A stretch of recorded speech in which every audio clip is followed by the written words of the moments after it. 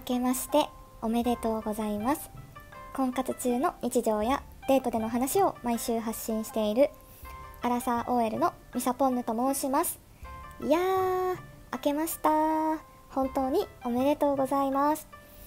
2023年が終わって2024年になりましたね。今年もぜひよろしくお願いします。今年で YouTube も始めてから2年ですよ。正確には今年の4月で2年です。早いね本当に。始めたのがもうめちゃくちゃ最近っていう気持ちです。2023年もたくさんお世話になりました。結局今年は1年間彼氏できずで1年前のクリスマスにね元彼とはお別れをして数ヶ月は結構病んだというか落ち込んでアプリとかもね再開できずって感じで2023年は始まったんだけど1月はちょっと失恋で動画お休みしてたりしてそこから2月に女子旅に行ってカーシェアで富士急に行って叫んで男を忘れる大会みたいなしたんだけど3月はバチェロレッテの尾崎美紀ちゃんとマクファー君が破局したことに衝撃を受けたっていう話をしたりあと男女6人の飲みにも行ったんだよね。その話もしたね。でその飲み会は結構面白かったんだけど個人的にはね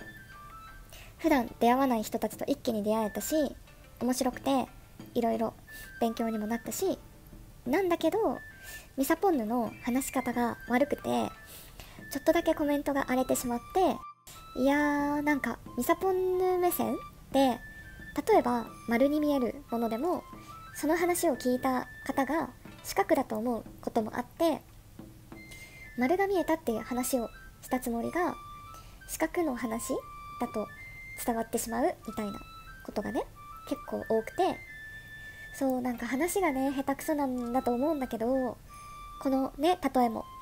分かりにくいよね。そうだからね喋るのねうまくないんだよね実際。うんそれがすごいずっと悩みですよね。なんか課題でもあるっていうか。ミサポンヌがね一方的に発信するスタイルだからどうしてもねこの YouTube の性質上四角だと思った方にどうしてこう丸だと思うのかっていうね話を聞くこともできないからコメントは見れるけど四角だと思った方はミサポンヌが丸の話をしてるとは思わないからコメントで解決することも結構難しくってそうなのだからね。難しいんだよね。極力四角に見える視点でも考えたいと思ってるんだけどね。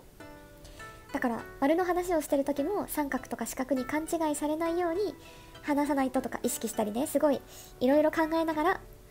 話さないとなって思いつつすごい頭フル回転で話してるしなのでねなんかこう言葉を選んででも嫌な思いする人がいない言葉もできる限りね選ばないといけないし伝えることの難しさは本当に毎週ひしひしと感じるよね。でこの飲み会の動画は本当にコメント欄がざわついてしまったからその次の週に訂正の補足動画を出したりしましたね。それからねちょっと落ち込んでっていうかモチベもちょっと落ちて2週間ぐらいお休みしちゃったっけな？って感じ？うん。そんなこともありました。はい。それで4月。2023年の4月は YouTube 始めて1年で4月の末に久々にね新しい男性とアプリで知り合った次の日に年下の男性と3個下の男性とアプリで会ったんだけど顔写真ほとんどなしで会ったのにすごいね素敵な人でお顔もすごい整った人が来てビビったんだよね。なんか野球漫画のタッチに似てて鼻がシュッて高くて小さくてみたいな。そうそういう方だったなーって。夢を夢を追いかけてるみたいな人で。いいなって思ったんだけどその人とはねそのデートの日に LINE を交換せずバイバイしちゃってで後日アプリで LINE を聞こうと思ってメッセージしたらその彼はアプリ大会してたっていう悲しすぎるオチだったんだけどまあ地味に傷ついたよね。それで5月はアラサー男女の婚活パーティーに行ったね。1人で参加したんだよね。1000円くらい払って飲み物も出るし食べ物も出たしお得感あったんだけどうんなんかきつかったよね。でもねまあ二重にしたしまた行ってみようかなって。うん。次はプロフィールの紙をびっしり埋めるって思ってる。そこ結構ね後悔してるからさ。最後に店員さんに封筒をもらってその中にカップル成立したらこの方と成立しましたって紙が入ってるみたいな感じだったんだけど見事にねミサポンヌはマッチングできなかったんだよね前回は。だからリベンジしたいな今年は。6月は合コンに行ったり合コンで男性陣が凍りついたやつね。気まずすぎたなあの合コン。注意しててもね無意識に人傷つけてしまうことってあるよね。あとは仕事で20人くらいの前で上司に詰められた話とか。この話の時はね視聴者さんがすごいたくさんコメントで慰めてくれて助かったなって。ありがとうございます。7月8月はせいやとデートしたり論文の淳さんに似てる田村さんとデートしたり。まあここ数ヶ月のね話は記憶に新しいと思うので振り返りはここまででもいいかなって思うんだけど今年の抱負はまあなんだろうな。とりあえずね彼氏を作ることかな、ハードルはね低めにね。そう。彼氏を作らないと何もまず始まらないから結婚願望がある彼氏を作るっていうところがゴールかなと。東京はね人がたくさんいるしその分出会いも多いから今年も気合を入れて婚活をしていこうと思います。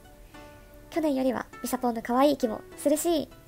年末で少し太ったからまたダイエットしないとダメなんだけど頑張って食事制限とウォーキング続けていこうと思ってます。皆さんの2024年の始まりが幸せあふれるものになることを心から願っているし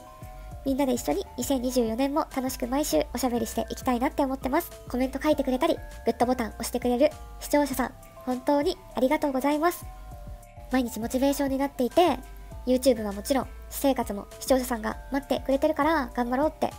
すごい思えるし、幸せ者だなって毎日感じてます。本当にありがとうございます。今年もぜひよろしくお願いします。じゃあまた次の動画で話しましょう。バイバーイ。明けおめ